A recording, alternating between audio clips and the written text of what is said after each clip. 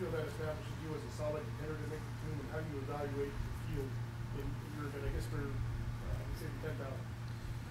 Yeah, uh, you know, pre, we did one of the why we raced pre was to get a standard, um, so that when we raced at USA, we just kind of raced for the spot and trying to make the team, and not so much have two things going. One, trying to get the standard. Two, trying to, you know, also place yourself.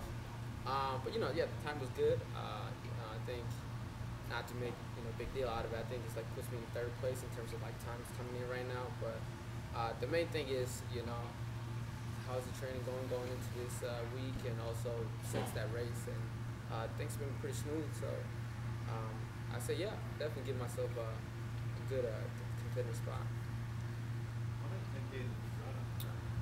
this is my uh, pre was my second uh, Payton Jordan on like May 2nd was my first one since uh, Olympic trials in 2012 so it's kind of a you know event that I, I got to get used to it now because I've been running uh, 5K mainly since I graduated college, and uh, that was one of the you know main points that we wanted to focus on coming out of college was to focus on the 5K, get strong, and then we uh, approach the 10K. So second one.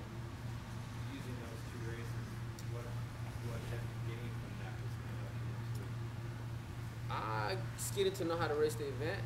You know, it's 25 laps. Uh, you know, there's times you find yourself not feeling maybe the smoothest, and you kind of got to decide at one point you can grind it out at what pace.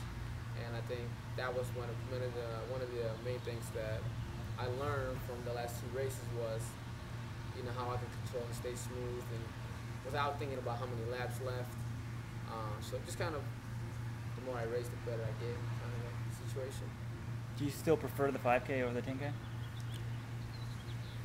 As of now, I mean, 5K is more fun because you know it's. I used to think 12 laps was long, but now you, kind of gotta you know switch your mind and kind of go to a different training zone, different level of like um, training energy. But um, 5K is a little more fun, but I think uh, we wouldn't approach the 10K if I didn't think I had the ability to